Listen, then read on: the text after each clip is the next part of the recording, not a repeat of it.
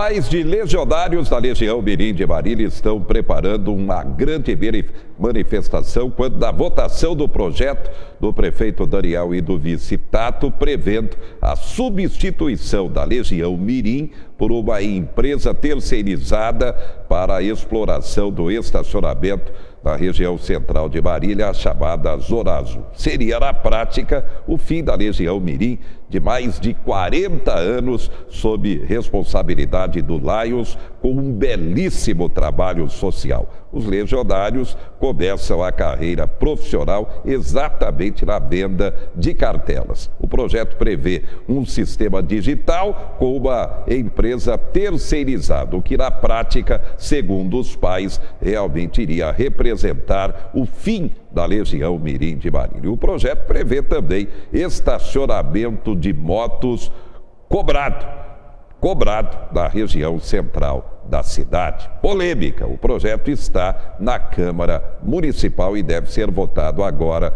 na volta dos vereadores ao trabalho ordinário a partir do mês de fevereiro.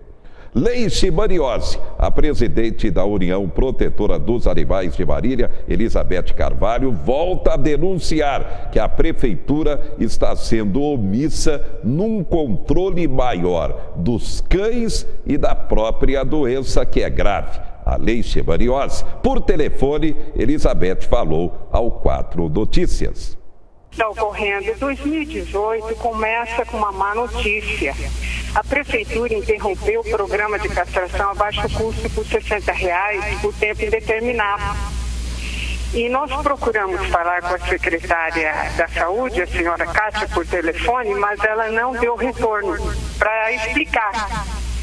Agora, conversando com as clínicas veterinárias credenciadas, sabendo que a prefeitura faz dois meses não entrega alguns itens do kit cirúrgico como anestésico, luvas, compressas jurídicas, é, cirúrgicas, né?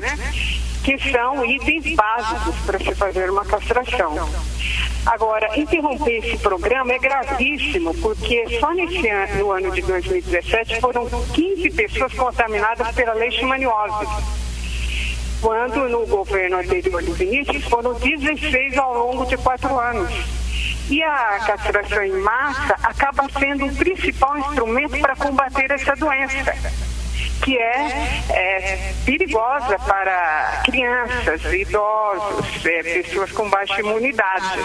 Então, isso se, é, o avanço da leishmaniose, 15 casos, só no ano no governo Daniel, significa que ele não está tendo sucesso no combate a essa doença, porque ele não está investindo no combate ao mosquito, né?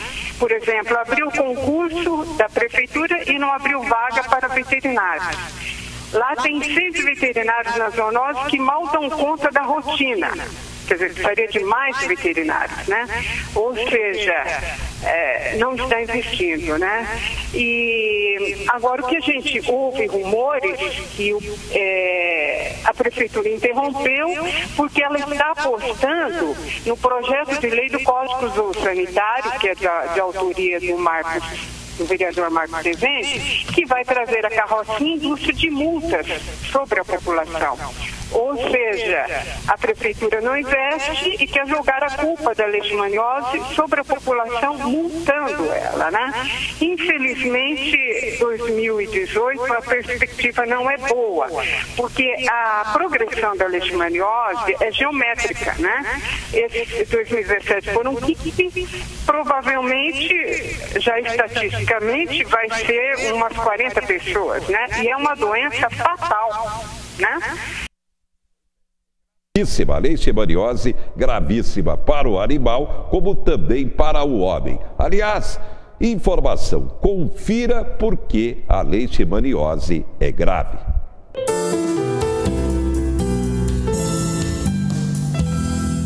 Você já ouviu falar em leishmaniose? Ela é uma doença infecciosa, mas não contagiosa, que pode se manifestar na pele ou acometer diversos órgãos do corpo. Por isso, saiba agora o que é e quais são as causas desse problema que é comum ao homem e ao cão.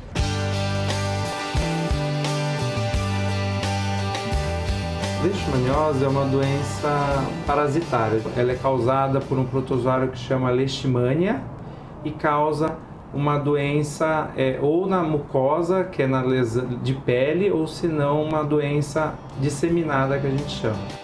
A leishmaniose é considerada uma zoonose, ou seja, uma doença dos animais que pode ser transmitida ao homem. Tudo acontece a partir da picada desse mosquito, o chamado flebótomo, também conhecido como birigui ou mosquito palha. A fêmea dessa espécie precisa de sangue para amadurecer os ovos. Para isso, ela o suga de outros indivíduos, como o cachorro, por exemplo.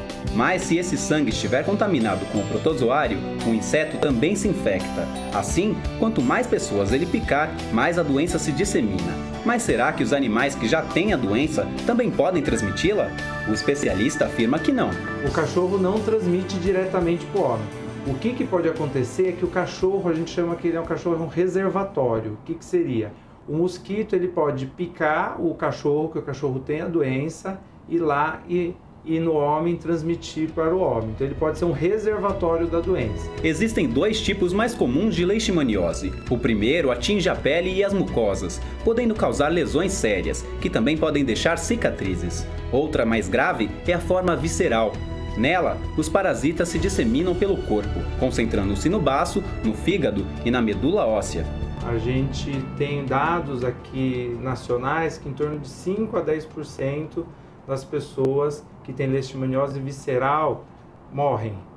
Se você não tratar, pode chegar até 90% dos casos. Então é uma doença grave. A tegumentar, geralmente é muito difícil evoluir para o óbito, a pessoa morrer por causa da leishmaniose tegumentar. A leishmaniose é um problema de saúde pública. Portanto, se você ou seu cachorro a contraírem, o Ministério da Saúde deve ser notificado. Com isso, pode-se controlar os casos no país. Mas se seu cachorro for diagnosticado, infelizmente a medida deve ser a eutanásia, para evitar o aparecimento de novos casos. Por isso, a prevenção é a melhor arma contra essa doença. Evite construir casas e acampamentos em áreas muito próximas à mata. Faça dedetização sempre que for indicado pelas autoridades de saúde e evite banhos de rio ou de garapé, quando localizados muito perto de matas. Para saber mais sobre leishmaniose, acesse minhavida.com.br. É uma questão realmente muito séria e, como foi colocado, problema de grande responsabilidade em termos de saúde pública. E agora uma matéria especial, porque nós precisamos ter cada vez mais respeito para com os animais. Um grande exemplo você pode observar nessa matéria.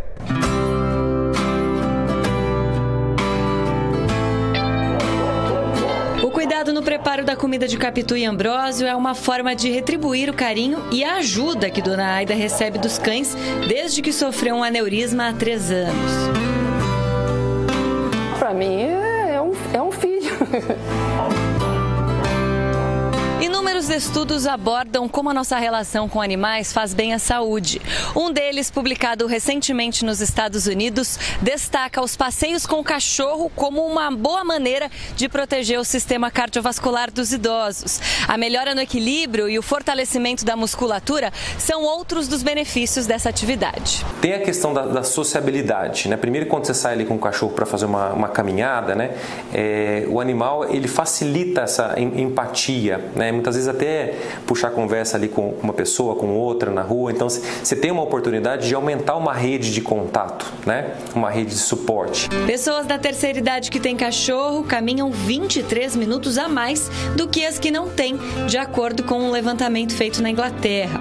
Seja qual for o bicho de estimação, a probabilidade de que a convivência com ele seja positiva é grande. Cada dia é um estudo novo que, que sai, que reforça esses indícios, mas na prática o que a gente vê é, é uma, uma relação é, muito gratificante, muito benéfica da relação dos animais com os idosos.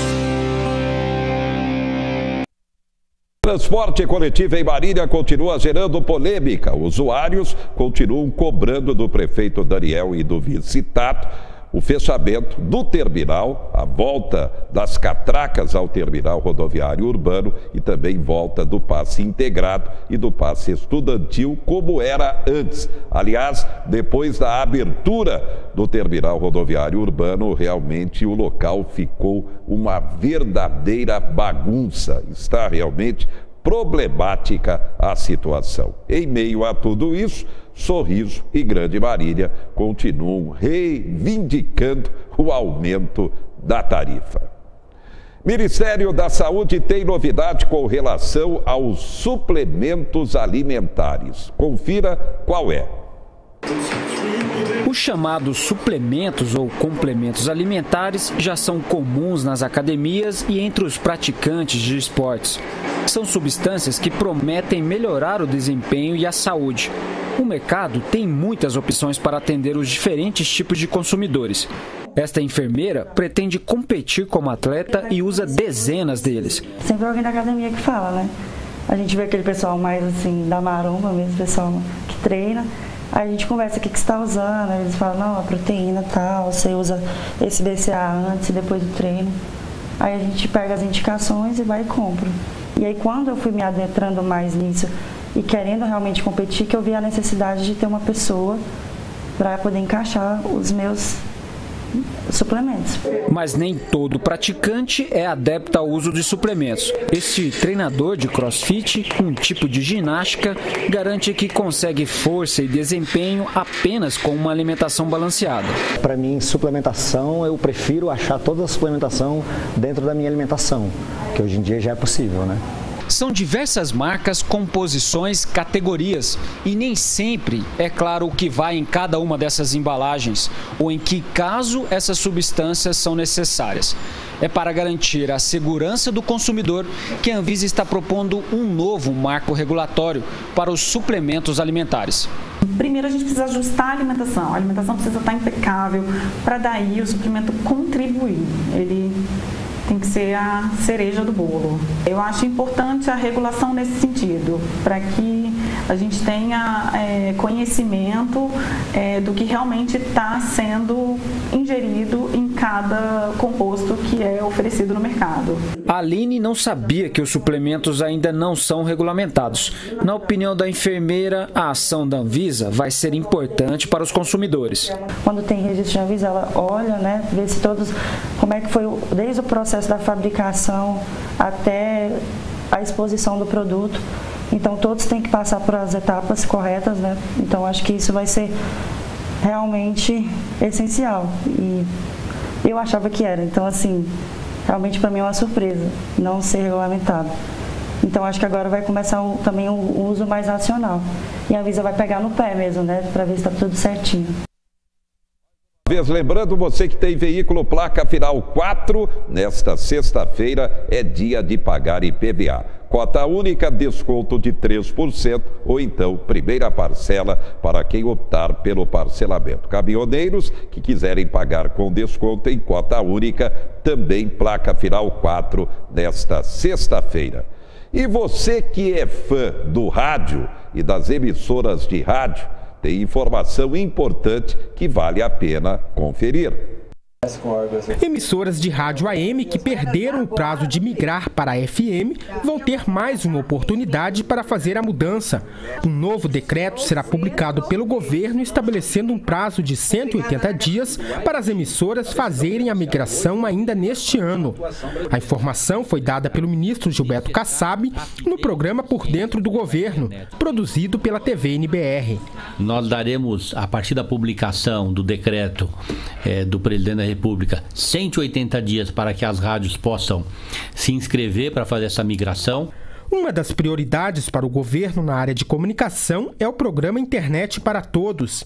E com o lançamento do satélite geoestacionário brasileiro feito no ano passado, a banda larga vai chegar aos locais remotos do país. Escolas e postos de saúde vão contar com conexão de alta velocidade. Ainda em janeiro, o governo vai firmar convênio com os primeiros 300 municípios. Sempre que comparamos, por exemplo, a vida de uma criança que teve na sua casa, na sua escola internet, com a vida de uma criança que não teve na sua infância, na sua casa, na sua escola internet, é evidente que a criança que teve essa oportunidade, ela vai ter uma vida com muito mais oportunidades, ela vai ter sido muito mais bem preparada. Essa é a razão de nós entendermos que esse programa Internet para Todos é um dos programas mais importantes de inclusão social no país hoje. O ministro anunciou também que nos próximos dias o presidente Michel Temer vai assinar o decreto que regulamenta o marco legal da ciência, tecnologia e inovação. A lei, sancionada em 2016, simplifica licitações e importações e favorece o trabalho e remuneração de pesquisadores do setor público, regras que agora serão detalhadas e poderão ser aplicadas na prática. Eu vou dar um exemplo. Uh, importações de insumos. Todos sabem o quanto é burocratizada a importação, o quanto às vezes ela atrapalha ou até faz com que uma pesquisa possa ser é, totalmente perdida. E, então nós agilizamos esse processo numa parceria com a Receita Federal, com o Ministério da Fazenda. E exemplos como esse, que tem uma importância muito relevante, são abordados nessa regulamentação e com isso permitindo avanços notáveis na estruturação de políticas públicas voltadas à ciência brasileira.